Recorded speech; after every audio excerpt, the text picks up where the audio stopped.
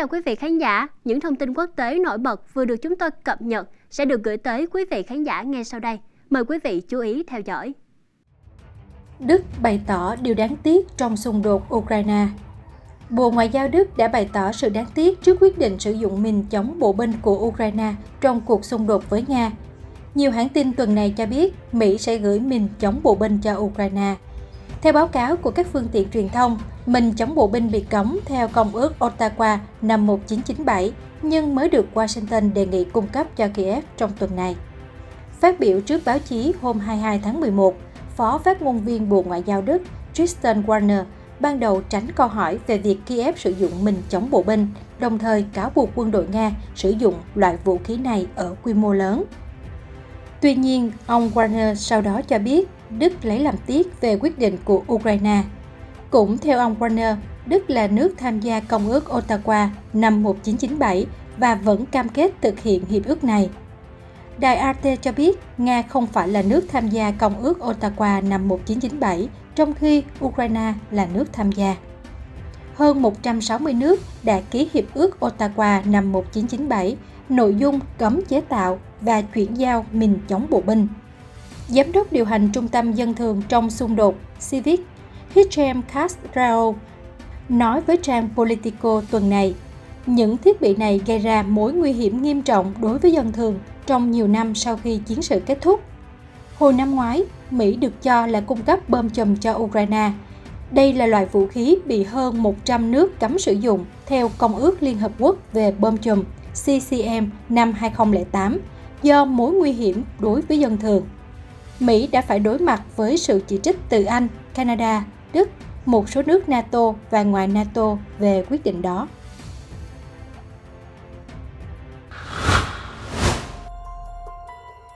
Xung đột Ukraine, Mỹ đổ lỗi cho Nga, Moscow dùng đến vũ khí chưa từng sử dụng. Mỹ đổ lỗi cho Nga làm leo thang xung đột Ukraine, trong khi Moscow cảnh báo Washington đang đổ thêm dầu vào lửa. Truyền thông Mỹ vừa đồng loạt đưa tin chính quyền của Tổng thống Joe Biden đã cởi trói vũ khí tầm xa đối với Ukraine. Điều này đồng nghĩa Ukraine được phép sử dụng tên lửa đạn đạo ATACMS do Mỹ sản xuất với tầm bắn 3.000 km tấn công mục tiêu sâu bên trong lãnh thổ Nga. Phát ngôn viên Bộ Ngoại giao Mỹ Matthew Miller trong cuộc họp báo ngày 18 tháng 11 theo giờ Mỹ từ chối xác nhận thông tin trên. Tuy nhiên, ông Miller nhắc lại rằng Mỹ sẽ luôn thích ứng và điều chỉnh các khả năng vũ khí cung cấp cho Ukraine khi thấy phù hợp. Reuters cho hay, người phát ngôn Bộ Ngoại giao Mỹ đổ lỗi chính Nga đã làm leo thang xung đột khi triển khai 11.000 binh sĩ Triều Tiên sát cánh cùng quân đội Nga để chống lại lực lượng Ukraine tại vùng Kursk của Nga. Đó là sự leo thang lớn khi Nga đưa quân đội châu Á vào một cuộc xung đột bên trong châu Âu.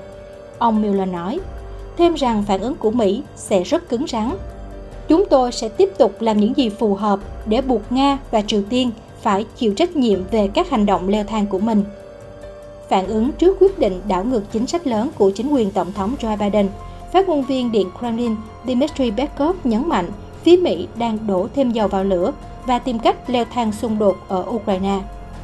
Phát biểu trong cuộc họp Hội đồng Bảo an hôm 18 tháng 11, Đại sứ Nga tại Liên Hợp Quốc Vasily Nebenzia nói, chính quyền sắp mãn nhiệm Mỹ sẽ đẩy Ukraine vào thảm cảnh khi cho phép họ sử dụng vũ khí tầm xa tấn công sâu vào bên trong lãnh thổ nước Nga. Chính quyền sắp mãn nhiệm của Mỹ đang không chỉ kéo quốc gia của họ mà cả toàn bộ châu Âu vào cuộc leo thang quy mô lớn với hậu quả thảm khốc, ông nhấn mạnh. Tương tự, phát ngôn viên Bộ Ngoại giao Nga Maria Zakharova ngày 18 tháng 11 cảnh báo Nga có thể triển khai vũ khí chưa từng được sử dụng để đáp trả việc phương Tây dỡ bỏ hạn chế về tên lửa tầm xa với Ukraine.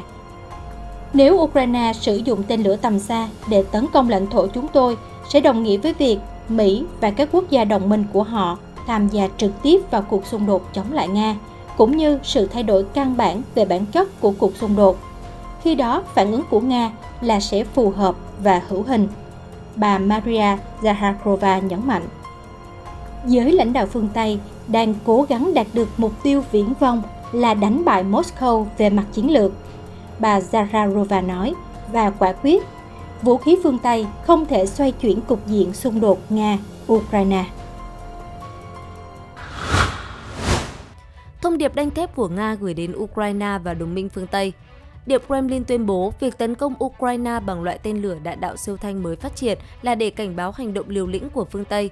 Thông điệp chủ đạo ở đây là sẽ không có chuyện Nga làm thinh trách nhiệm quyết định và hành động liều lĩnh của các nước phương Tây, các nước đang sản xuất, cung cấp tên lửa cho Ukraine và sau đó tham gia vào các cuộc tập kích vào lãnh thổ Nga. Người phát ngôn Điệp Kremlin, ông Dmitry Peskov, nói với báo giới hôm 22 tháng 11. Ông Peskov đưa ra phát biểu trên một ngày sau khi Tổng thống Nga Vladimir Putin thông báo rằng Moscow đã sử dụng loại tên lửa mới mang tên Oresnik để tấn công một cơ sở quân sự của Ukraine. Động thái này nhằm đáp trả việc Kiev lần đầu tấn công Nga bằng tên lửa tầm xa do Mỹ và Anh sản xuất sau khi được Mỹ bật đèn xanh. Nga đã thể hiện rõ năng lực của mình và các bước phản ứng tiếp theo trong trường hợp mối quan ngại của chúng tôi bị phớt lờ cũng đã được nêu rõ, ông Peskov nói thêm. Moscow trước đó đã tuyên bố việc Ukraine tấn công Nga bằng tên lửa ATACMS và Storm Shadow là bằng chứng cho thấy Mỹ và Anh đang trực tiếp tham chiến.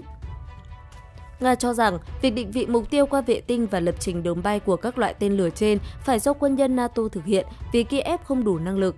Ông Putin cho biết Moscow đã tấn công một cơ sở tên lửa và quốc phòng tại thành phố Dnipro của Ukraine, nơi đặt trụ sở công ty Pipdemas chuyên sản xuất tên lửa. Bộ Quốc phòng Nga hôm 21 tháng 11 tuyên bố rằng tất cả đầu đạn của tên lửa Oresnik đã bắn trúng mục tiêu, đồng thời cho biết đây là lần đầu tiên Nga sử dụng thành công một loại tên lửa đạn đạo siêu thanh tầm trung với đầu đạn thông thường trong chiến đấu. Tổng thống Ukraine Volodymyr Zelensky gọi việc Nga sử dụng loại tên lửa mới này là sự leo thang nghiêm trọng và rõ ràng, từ đó kêu gọi cộng đồng quốc tế lên án mạnh mẽ.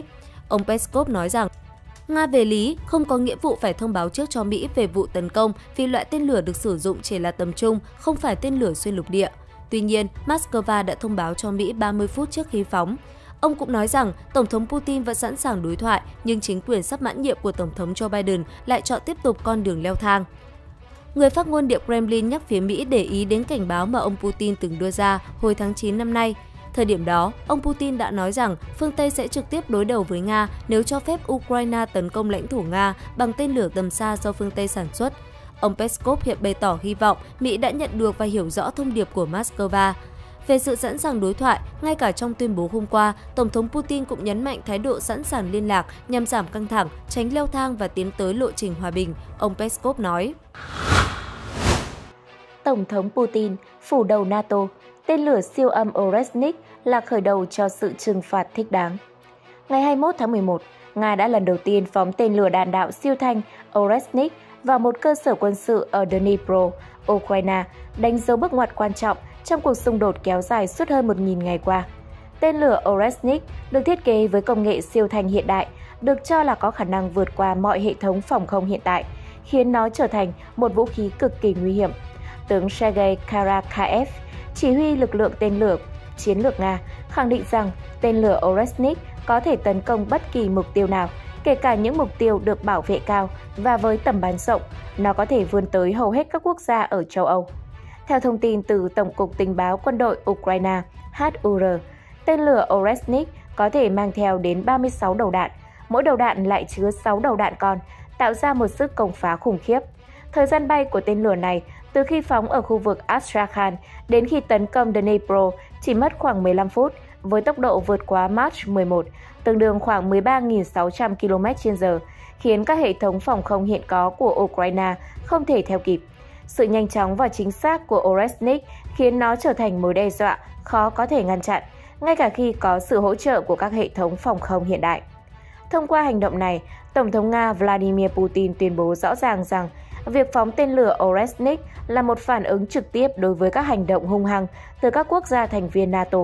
Putin nhấn mạnh rằng Nga không chỉ bị buộc phải đối phó với những cuộc tấn công trực tiếp từ Ukraine, mà còn đang phải đối diện với sự hỗ trợ quân sự ngày càng lớn từ NATO, bao gồm các loại vũ khí tầm xa như tên lửa AT-ACMS và Storm Shadow giúp Ukraine tấn công sâu vào lãnh thổ Nga.